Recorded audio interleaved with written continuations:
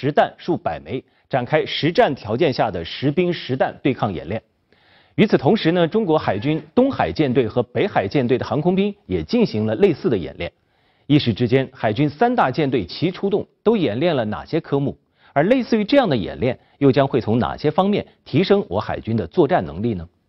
南海舰队七月十九号到二十一号的演练，是一个月之内中国海军在南海方向进行的第二次大规模演习。从央视公开的画面看，这次出动的是苏三零和歼十一 B 等战机，它们都是海军航空兵的主力机型。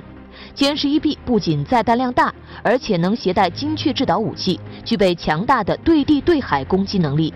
更重要的是，歼十一 B 的航程也很远，即使不依靠空中加油，作战范围也能覆盖整个南海。苏三零则是一款多用途战斗机，不仅可以挂载空对空导弹夺取空中优势，也可以对地对海攻击。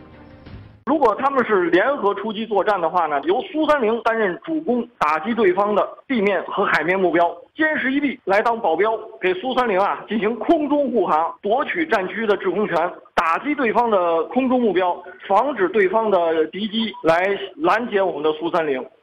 这次演习实战化特点非常明显，完全采取背靠背组织实施，事先没有预案。在演习中，为躲避蓝方的雷达搜索，红方战机采取超低空飞行和无线电静默等方式进行隐蔽突击。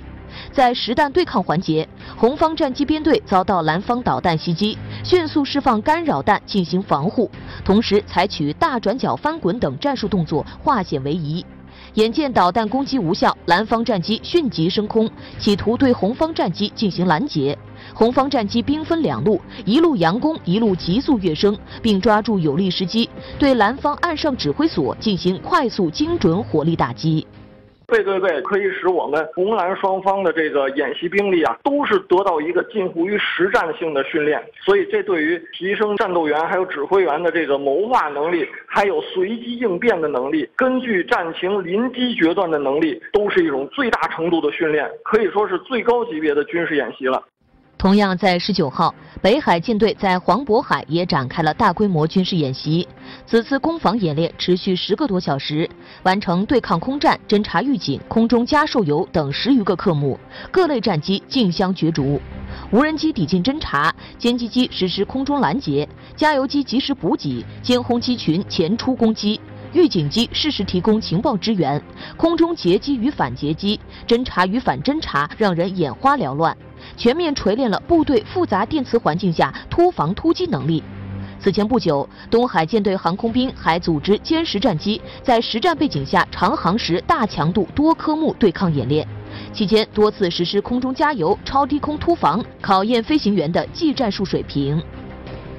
纵观近期海军航空兵举行的军事演习，常态化极限练兵是提及次数最多的一个词。把特情想得更复杂，把敌情设置得更危险，把战场环境构建得更逼真，成为他们提升实战能力的重要路径。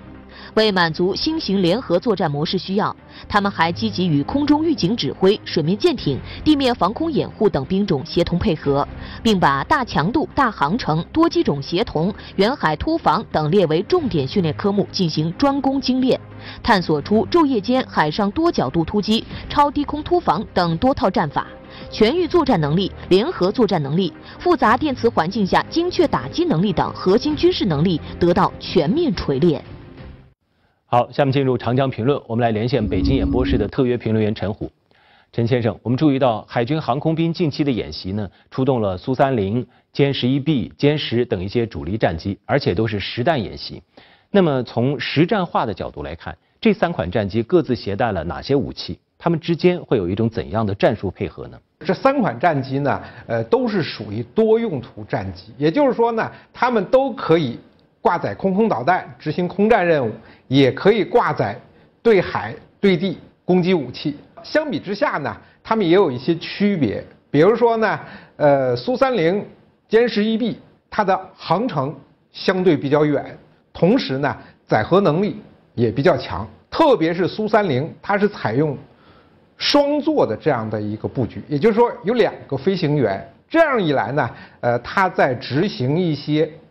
远程的对海对地目标的精确打击任务时候，它是具有优势的。那么歼十一 B 呢，无论是空中作战能力还是攻击能力都比较好。那么特别是它的这个中远距的空战能力相对比较强。歼十呢比歼十一 B 和苏三零要小一些，所以呢它的载弹能力和航程相对较近。但是呢，呃，歼十本身是有空中加油管的，通过空中加油可以延续它的留空时间。那么一般来说呢，这三型战机如果同时使用的话，歼十一 B 和歼十主要是给苏三零护航这样的一个搭配。我们现在看到这样的一个演练，说明呢，我们空军的训练已经进入到了多机型的这样的一个协同作战的演练的状态。嗯。我们知道，对海实弹射击呢是一个危险性大、对飞行员的技战术水平和心理素质要求都非常高的科目。那么，您认为它究竟难在哪些方面？通过这样的一种演习，能够锻炼我们海军航空兵的哪些方面的能力呢？第一个呢，你对海上目标，特别是具有较强的防空能力的目标实施攻击和打击的时候，你要解决一个突防的问题。通常它采用的飞行方式。就是海面的超低空飞行。按照一般的飞行员讲呢，在海面超低空飞行的时候呢，飞着飞着，它就会把海面和空中搞混掉。那么这样式一来呢，就有很大的危险性。这对这个飞行员的操纵技术有相当的要求。那么另外一个角度来说，那么海上打击大型水面目标。一般来说呢，它都采用超视距攻击的方式。这样的攻击行动就不仅仅是一个飞机带着一个导弹独立可以完成的。一般来说呢，它会有其他兵力的协同配合。你比如说，预警机和对海面搜索的雷达飞机来提供最初的目标的位置。它对整个的时间点要把握的相当的精准。那么这些来说呢，呃，对飞行员都是一个考验。而我们现在看到，我们进入到这一类的训练当中，来加强我们的飞行员对这样的作战形式它的一个适应能力，同时呢，也对提高他的技术水平、提升他的心理素质会有所帮助。嗯，我们观察到海军三大舰队的航空兵演习的科目呢是各有侧重的。您怎么来解读？那么从演习的科目当中来看，还有哪些信息值得关注？黄渤海这个地区相对来说离我们的大陆比较近，而且这周边的一些地区呢，有我们许多的相应的设施基地，在这一块儿，我们容易模拟形成真实的、比较强的复杂电磁环境。有了这样的一个电磁环境，你才能真正的。把复杂电磁环境下的作战演练得更贴近实战。那么再看南海方向，南海方向演练的主要是空中格斗和对海对陆的攻击。那么在这个方向呢，面对的对手包括可能出现的强敌，空中格斗和对海对地的攻击将是这个地方实施较大规模作战的主要的一个形式。反过头来，我们再看东海方向，东海方向这里实施的演习和训练，主要突出的是高强度远距离。因为呢，想在这个地方作战，首先你要突破第一岛链，因为如果在岛链内打仗的话，呃，这个格局就太小了。所以这个时候，我们看到这个方向演练的重点就是远距离、高强度